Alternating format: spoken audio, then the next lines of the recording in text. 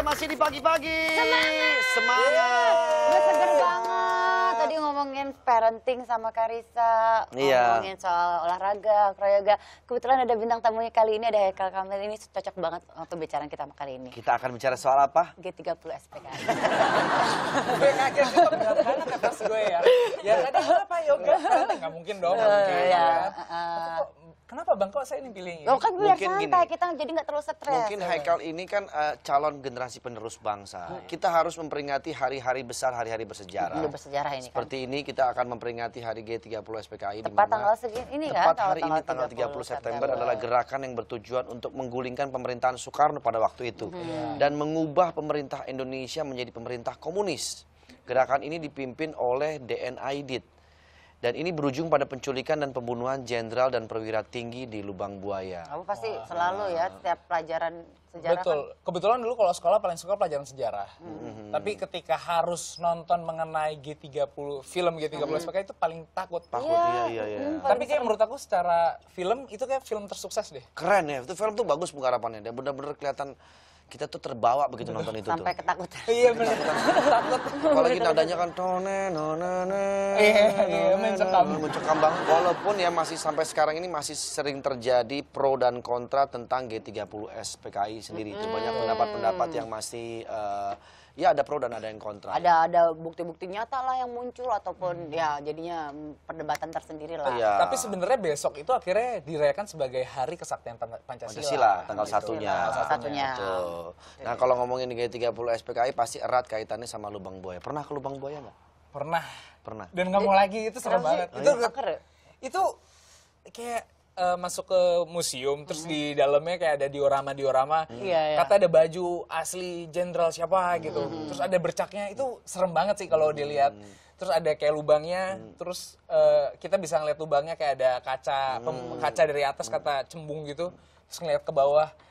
Serem sih suka dikasih lampu gitu kayak enggak. Tapi justru yang kayak gitu-gitu kan lebih suasana yang agak mistis, agak apa misterius dan juga menimbulkan pertanyaan dalam sanubari kan. Iya, itu iya, jadi iya. bikin semua orang penisirin kan. penasaran. Ke penasaran. Tapi kadang-kadang kita perlu juga datang ke tempatnya untuk melihat sejarah ya bahwa eh, begitulah Perjuangan. perjuangan, so- Iya. eh, bangsa Indonesia gitu. Jangan kayak teman saya ya, diajakin ke lubang buaya malah dia ke lubang angin. Ngapain?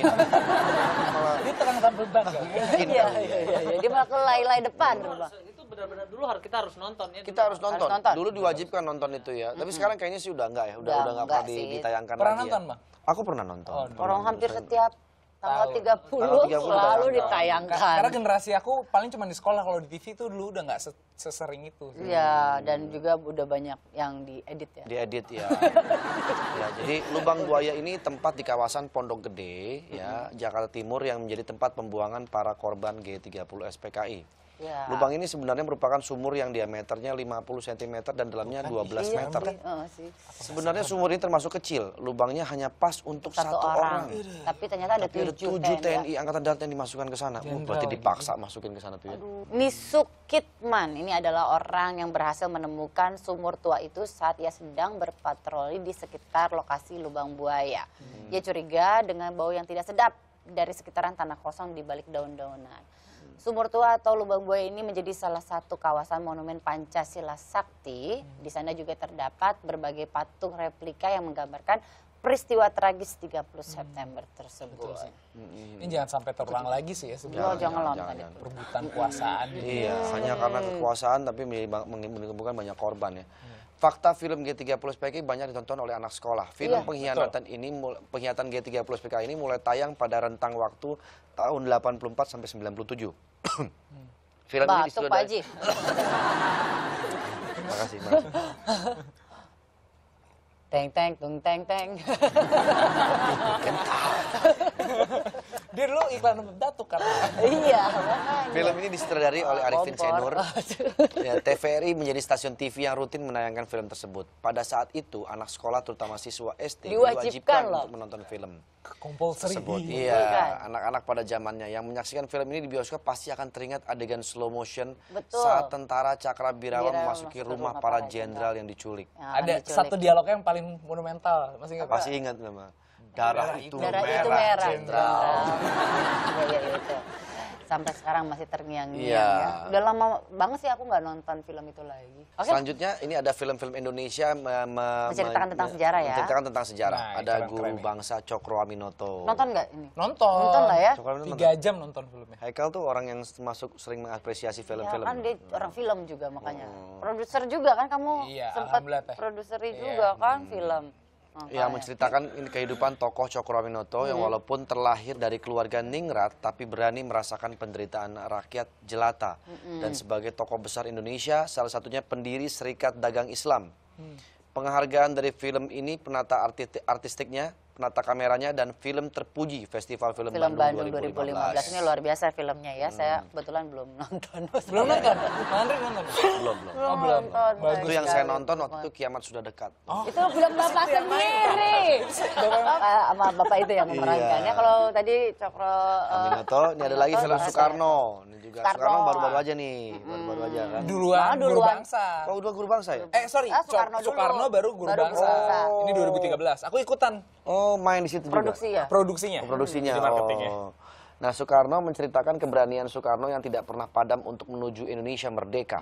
Penghargaan yang pernah diraih film ini adalah film terpuji Festival, Film, Bandung, 2014. 2014 dan yang paling membanggakan menjadi perwakilan Indonesia untuk kategori film berbahasa asing terbaik Dan di ajang film penghargaan film itu Academy Award atau Oscar tahun Iya. ini. Uh, Iya, cuman hanya mewakili tapi kita akhirnya nggak masuk seleksinya sih. Oh, masuk seleksi tapi sempat Tapi apa, dipilih oh, dari Indonesia, itu. Soekarno, gitu. Oh, keren. Selanjutnya ada Mudah-mudahan lah film. ya nanti nama kita muncul di Amin, amin. Iya. Kalau film tuh harus diapresiasi Betul. sebenarnya. Iya, iya, iya. Selanjutnya film Kiamat sudah dekat ya. Dah Ini ada Pak, Jenderal Sudirman Itu Jenderal. Sudirman. Oh, Bapak film satu-satunya aja ya, disebut-sebut terus ya. Film ini tentang perjuangan Jenderal Sudirman dalam memimpin perang gerilya hingga kerajaan Belanda mengakui kedaulatan Belanda seutuhnya. Ini baru banget ya filmnya ya. Jenderal Sudirman ini baru aja. Masih diplastikin nggak? Masih di bioskop? Masih di bioskop pasti ada ya di beberapa Dari semua film-film itu yang mana yang menurut Haikal paling ternyoy gitu. ternyoy? Kalau aku pribadi sih paling suka sama Bung Karno ya, film Soekarno. Soekarno, ya. Karena perjuangannya, karena itu kan spiritnya anak muda banget. Karena Hmm. Bung Karno eh, ketika dia masih muda, dia udah memulai pergerakannya. Bahkan Hmm. sampai dia masuk penjara, terus dia berani berorasi segala macam. Hmm. Perjuangannya keren sih. Iya iya iya iya. Jadi betul-betul eh, apa namanya kelihatan di situ dari mulai muda sampai akhir hayatnya berjuang betul untuk Indonesia. Iya, nggak sampai akhirnya itu sampai Indonesia merdeka. Sampai Indonesia merdeka ya. Belum nonton ketawa. Aku sengaja mancing kamu ternyata kamu luar biasa juga. Saya ngeles. Oke. Selanjutnya Film-film Indonesia.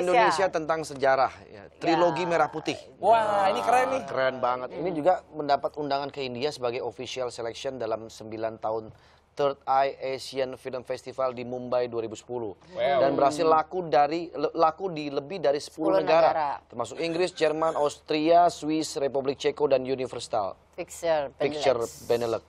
Luar Nah, biasa ya. Nah, selain itu juga ada Ah, kalau ngomongin soal apa penjajahan pasti juga ada tahanan-tahanan perang, Betul. tahanan Iya, iya. terus yang penderitaannya kayak gimana. Tapi pernah nggak ngelihat penjara justru mewah banget?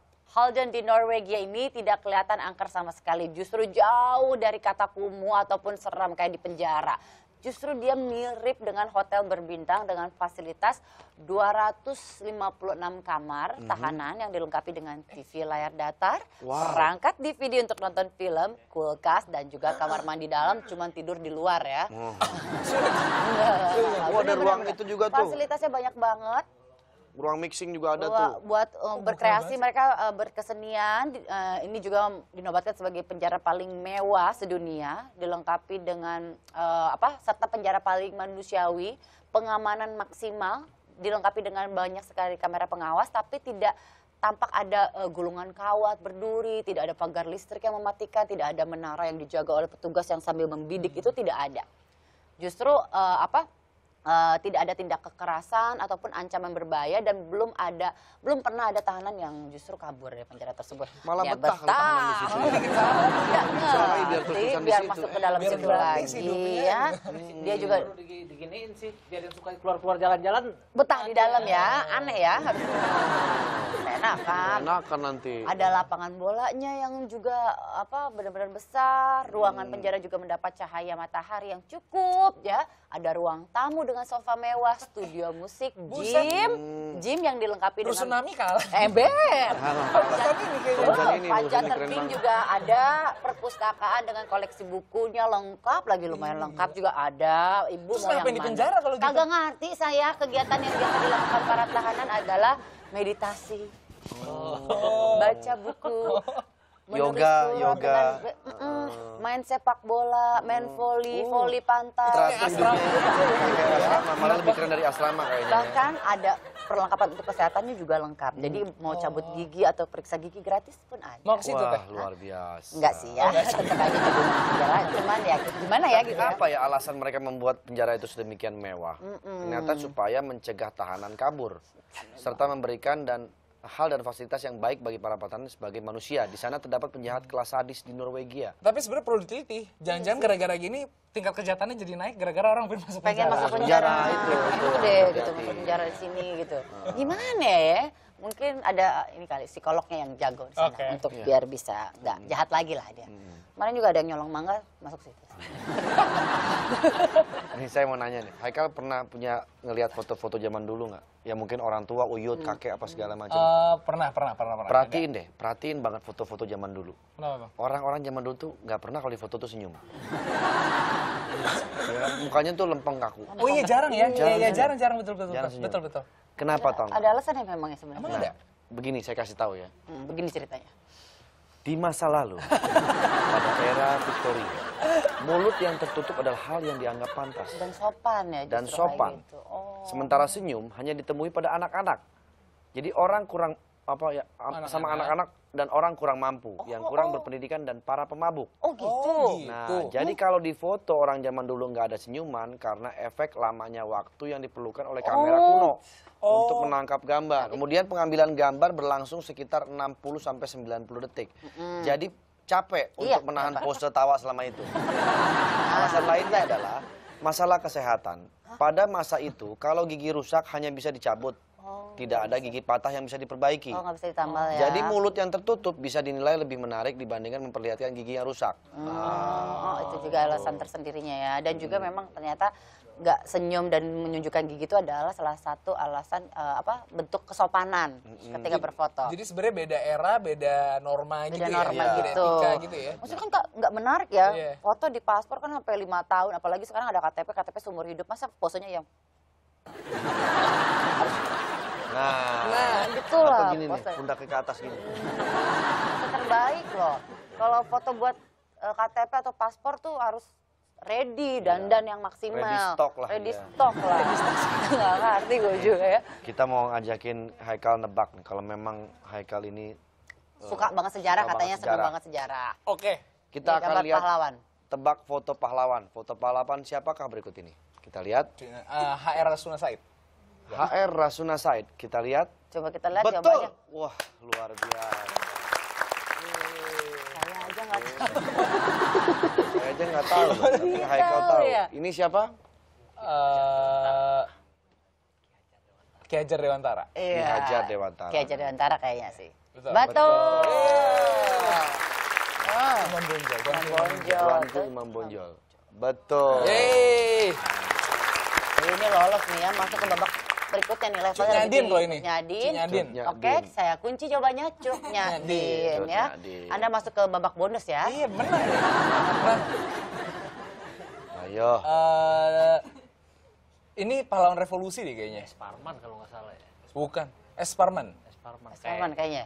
Walter Oh, Mangunsidi. Mangunsidi. Walter Mangusidi, jalanan sama Robert. jalanan. Jalanan, jalanan. Robert Dekat- Walter Mangusidi dekat Ini salon. eh, Hasanuddin. Hasanuddin. Iya. Lu kasih tahu nih, pacar nih.